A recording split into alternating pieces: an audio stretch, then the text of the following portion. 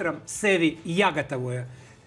Valodu jāapgūt, ka šodien Eiropā teica, ka minimum trīs, bet labāk četras, piecas. Ja?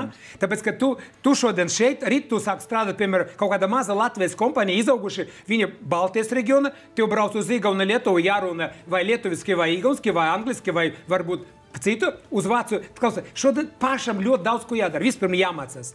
Obligāti. Obligāti to, ko mēs tur sakām, ka obligāti jābūt matemātika, fizika, ķīmija. Paskat, līdz šodien 42% no studentiem turpināja, e, s, e, tu, turpināja mācīties ne, Bet te ir baigi interesanti. ne, ne piemēram, inženierzinātnē, ja? At, at, at, savādāk. Bet, Piemēram, Vitālij, socioloģija, bet viņi paši, jautājumi. nu, te ir tāda aptauja, kur paši šie jaunieši, milēniju paudzes jaunieši, Jā. Kas ir uzsākuši savu biznesu, citi vēl tikai domā, un tā Jā.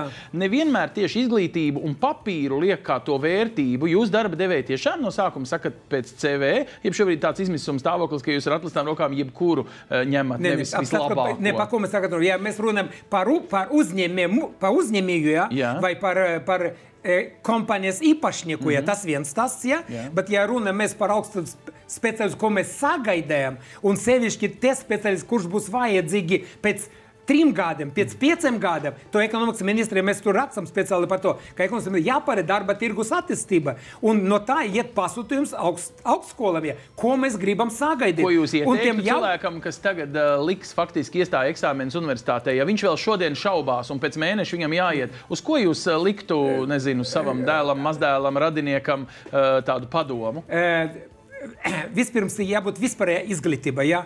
Lai tu saproti, kā dzīvo pasaulē, kā strādā pasaulē, mēs ļoti tagad e, gribam no tādu ideju ka 9. un 12. klāts skolai obligāti dot priekšstats par uzņēmumu darbību. Jūs paskatieties, pasaulē 1% tikai tie, kuri investē miljonu un vairāk. Nu, a 99%. Sanāk, Tev nozīmē, ka vienam jā. procentam jādod darbu, jāmaksā nodokļi vispār. Tāpēc, ka mums vajag maksimāli dot viņam nu, to skaistumu, ka jā, ļoti smags darbs, bet ļoti interesants darbs biznesa. Tātad jūs gribat, lai tieši uzņēmīgums un uzņēmējdarbība ir viens no jā, uh, pamat elementiem. Tieši 9. un 12. Labi, klasē. bet kurā nozarē Latvijā ir jāliek? Nu, teiksim, mums tradicionāli par zaļo Bet- zeltu, bet- par mežu tiek daudz Ne, ne, runāts. ja, Vai uz klau, to ir vai Tas jāliek? tikai viens, tas tikai viens no virza. Labi? Digitalizācija būs visur.